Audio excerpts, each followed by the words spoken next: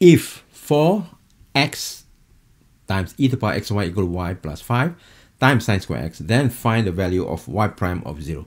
First find the derivative and then substitute x equal to 0 to get the derivative of y rest, uh, at x equals 0. Here, the function, take derivative, derivative on the left, derivative on the right. Derivative on the left 4 constant out, then you have the derivative of this. This is product of two function. One function is x, second function e to the power xy. Let's let uh, to get the derivative of a product of two function, we apply the product rule. The derivative of this is 1 times the second function plus the first function times the derivative of second function.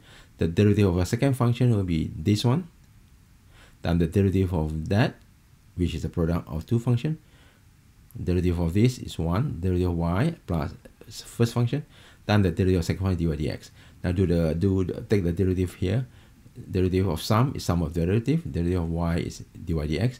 Derivative of this is 5 comes out and then 2 comes down uh, sine x times the derivative of uh, sine x is cos x. Apply the uh, chain rule. Now we need to collect all the dy dx. So there's one piece here and then there is a second one.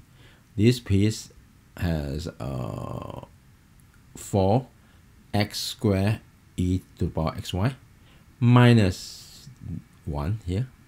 So this one handle the dy dx. Now let's go for here. 5 times 2 is 10 sine x cos x minus this whole piece it will be one piece here times second piece here which is that now uh,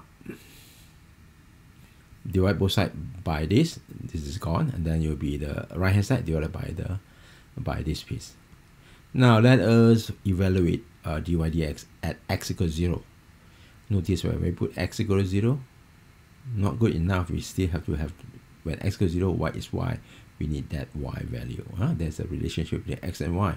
So let us find when x equals 0, you get the equation. When x equals 0, put x equals 0 here. 0 here, 0 there, and then sine 0 is 0, and then you get y. So when x equals 0, y equals 0. So now you have enough information to plug in for the derivative at x equals 0 and y also equals 0 as we, we saw here, okay? plug those things here and then you get the dy dx at x equals 0 y equals 0 at x or y 0 plug x uh plug x equals 0 and y equals 0 and then I will let you guys do that. This is simple 0 this is simple 0 e to the power 0 is 1 negative 4 and then this is uh, 0 you have negative 1 negative 4 divided by negative 1 will be 4 done. Thank you for watching hope video is informative and helpful before you go, make sure you subscribe, share, comment, and don't forget to hit or smash the like button. See you.